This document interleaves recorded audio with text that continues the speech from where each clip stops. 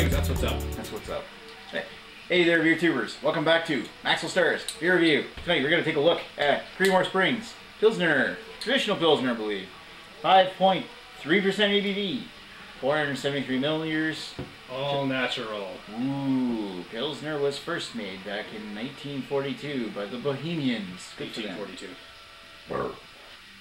They used special pale malt and a whole bunch of hops to create a delicious, refreshing golden beer.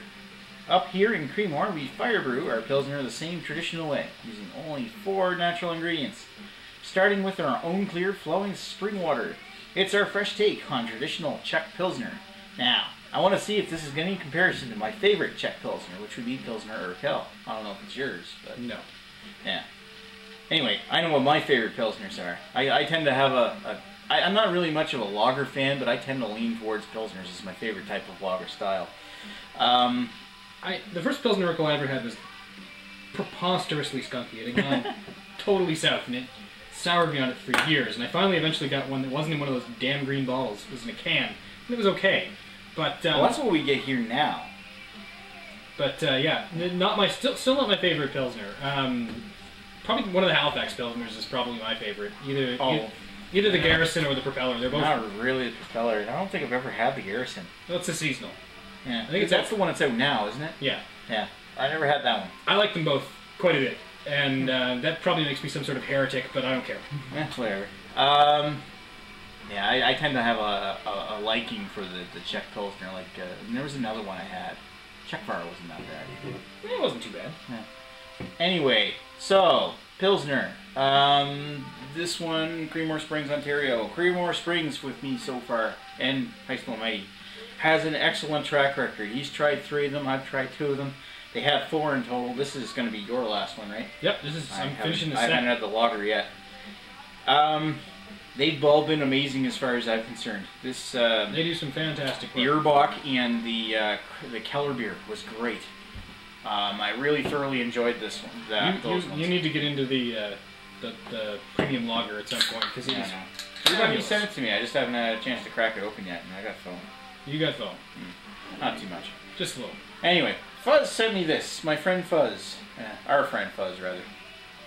My Both- friend too. Yeah, he's been friends with both of us for- since like elementary. Since we were school. like what, like elementary nine? school.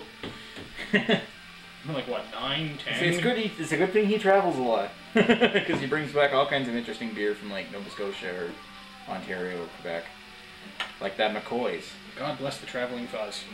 Yeah, I just wish he had better better taste or skill of picking up the good stuff. Did a good job with this one. Yeah, he did a great job with this one. I won't knock it too much. And you know what? I'm, I'm appreciative for anything I get, really. This is a nice pale straw um, color. Lots of nice carbonation. straw golden color. That looks pretty nice for a pilsner. Got a nice poofy, hazy. poofy, sticky head. Little, little tiny bit hazy. Nice, nice carbonation. Nice uh, streaming carbonation coming up the sides, and a little bit of. Actually, looks like it's sticking to the sides quite well. You know what? That really looks nice for a pilsner. This is a nice looking pills. It's a nice looking pill. Let's give it a take, a sniff. It's got that pilsner smell. Yep. It's got that, that herbal, earthy, not so much earthy, but more like this, this like herbal metallic, mm, slightly, You can tell this is a well hopped pills. yeah. Um, that definitely smells. That smells a lot like a fresh pil, uh, pilsner Urquell. It's got this almost like free kind of. Oh, what is that smell? It's almost citrus. A little bit. A little bit. It's, it's uh, maybe a touch of that banana that pills is sometimes come up with. hmm Yeah, there's a little bit of sweetness in the back there. Like a pilsner's typically used like a pilsner malt, which is similar to caramel malt. Mm. and uh, and that smells that definitely smells like um, they use Saaz hops in it, like their typical uh, Bohemian hop. Well, that would make sense.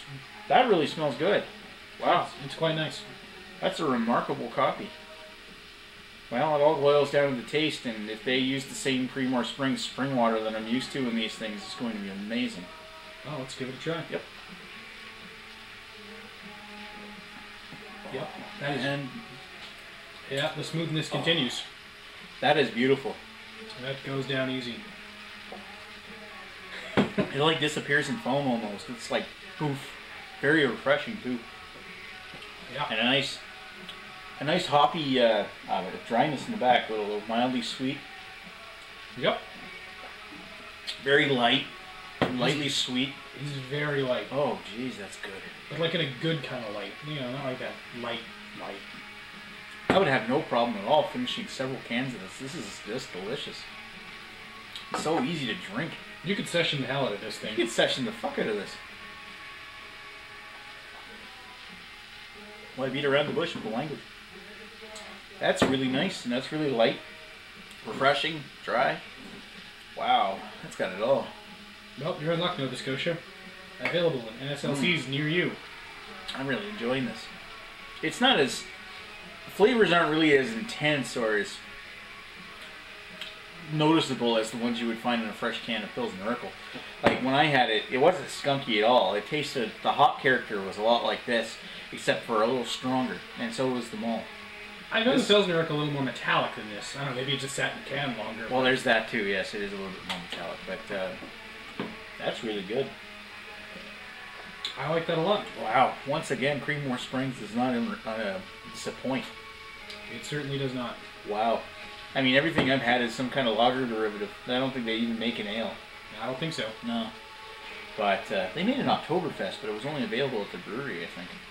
I think it might have been available like at the Kitchener Waterloo Oktoberfest Yeah. on site, but regrettably we did not make it. Well, yeah. I mean, like we live like two provinces away. We're not making it over there. Canada's a big country. And big country dreams stay with you. Got big dreams. Big dreams. Whatever. Okay. Um, yeah, we wax we're, we're, we're gonna sit down with this one for a bit and be right back.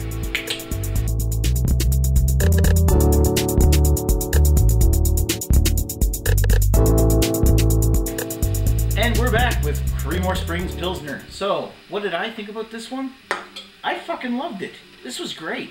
Uh, maybe not as strong and as have as much character as you would expect, like from like like Pilsner Urquell had, in my opinion.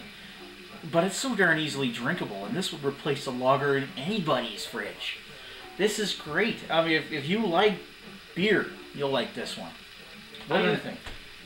It might be just a little too hopsy for your real casual Bud Light drinker. I've been drinking hoppy beers lately, so. I, I don't know. This one probably doesn't have quite the universal appeal that the premium lager does, but it is a really good really- introduction to Pilsner. I really need to try this Creemore Springs uh, lager now. It's really fucking good. I have it, but I haven't tried it yet. But this, this, their Urbock, their Keller beer, they were all nice and soft and amazing. I just, I, I love Creemore Springs right now. Yeah, I adore Creemore Springs right now because this is delicious. They do some good work. Wow. I can see why Molson bought them and then didn't fuck with them. No, why'd screw up the recipe? You really, I mean, probably the biggest that claim to fame that Creemore Springs. I mean, their beers are delicious anyway, but the biggest claim to fame they have is the soft water, soft spring water they use in their beers. If Molson was to fuck this up and move it to a like a regional produced product, like they would have, like they make it at their their breweries in like Halifax or St. John's or Moncton or something like that, all across the country it would screw it over. It would really screw it over. The only way they could get around it is if they started boiling the water over to make distilled water to brew the beer with. And that water is just so soft. It's really quite delicious. And that makes an amazing beer, in my opinion. That's really easily drinkable, very refreshing, and thoroughly enjoyable. And a good recipe to boot. To me, that's got it all. This is I'd- a good I- pills. I'd have to give that a 4.5 out of 5. What do you think? I, I would give it a four. A 4? Yeah, Yeah. But you're not as big a fan as, of the Pilsners as, as I am. not quite. I, I I like the dark lagers better, and I love their dark lager. And this is a very very good pills, but pills is not my favorite thing in Hmm. the world. No, I know. Uh, I mean, typically a pilsner is a bit more of like a, a real hopsy standard lager. Yeah, Uh, And this is a very- darker. This is a very uh, very hopsy standard lager. Hmm. Uh, so yeah, If I- you like your little, like beers with a little bit of extra bitterness, like say, like Keith's India Pale Ale, it, not calling that an absolutely hoppy beer. It's certainly not as hoppy as an India Pale Ale should be, but it's a good s- like frame of reference. Um, maybe not. no, I don't know where we're going with this. I have no idea where that came from. All right, four point five out of five from me, four from you. Thoroughly recommended. I'd certainly try this one if you get a chance to, because this was just this is great. Thumbs Thank- way up. Thumbs way up. Yeah, Uh, you heard me. I, thumbs way up, and thank you very much, much Fuzz, for sending me this, and I'm getting uncomfortable. Alright, thanks for watching Maxwell Starr's Beer Reviews. Heisty Almighty over here. Heisty Almighty? Heisty Almighty. Heisty Almighty. Heisty Almighty. Kermit, Kermit the Frog here. Alright, cheers. Cheers. David.